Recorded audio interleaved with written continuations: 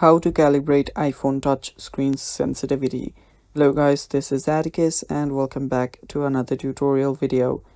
In today's video i'll teach you guys how you can calibrate your iphone's touch sensitivity. So without any further ado let's dive right into it. So the first step that you'll need to take is head over to your settings.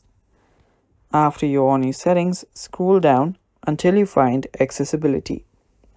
Tap on accessibility and after you there scroll down again. Now after you scroll down you should be on the physical and motor section. Right there you'll find the touch option. Head over to touch. After you're on touch you should see a lot of different settings. The one that we want is called touch accommodation. Tap on it and just make sure that it is turned on. After you do that you will see an option that says hold duration what you'll need to do to add a sensitivity is just tap on hold duration if you want a delay or if you want less sensitive screen screen. So just tap on hold duration and just select the duration that you want. Whichever duration fits the most for you you can use that.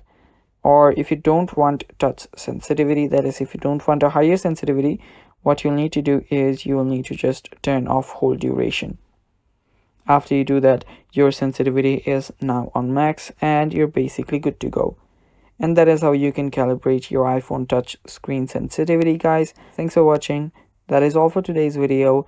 Stay tuned for more and bye bye take care